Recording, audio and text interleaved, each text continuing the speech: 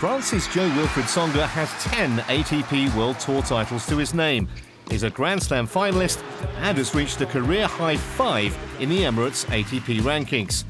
But in this current golden age of tennis, how to break into the monopoly of the top four is the million dollar question. And to help him achieve his goal, Jo has appointed a new coaching team, which includes former player Thierry Ascione.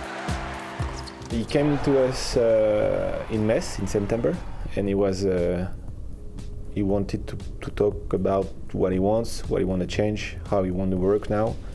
Not only does he have a new coaching setup, but Jo, who missed the entire 2013 North American hardcourt swing, is also making a comeback from injury.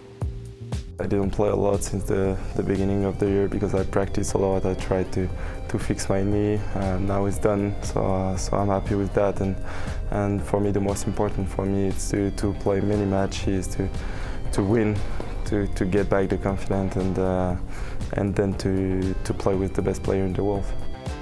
In his pursuit of greatness, Jo is leaving no stone unturned and has appointed not one but two coaches. Joining Thierry is former world number 17 Nicolas Escudé. So why the double act? He wanted to work with us and that was not easy because uh, we don't want to travel too much. That's why we are two, because uh, Nicolas Escudé was with him in Australia, I'm with him here we stay home in March because uh, my wife is pregnant, and uh, but that's really good. Everything is going really great. He's, he's a big worker because when you don't know him so much, you think he's really relaxed and everything, but not at all. Not at all. He's he's working so hard. He's uh, he's a good guy, great player. They are coach, you know, they bring me everything. You know, to be at the top, uh, the best level, it's only a few things. Uh, but uh, little things plus uh, little things, you know, make big things, and and that's what they that's what they try to to give me.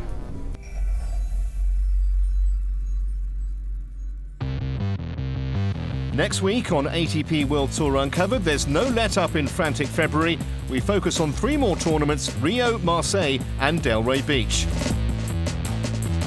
and fighting spirit, the man who never says die, we spotlight Spain's David Ferrer.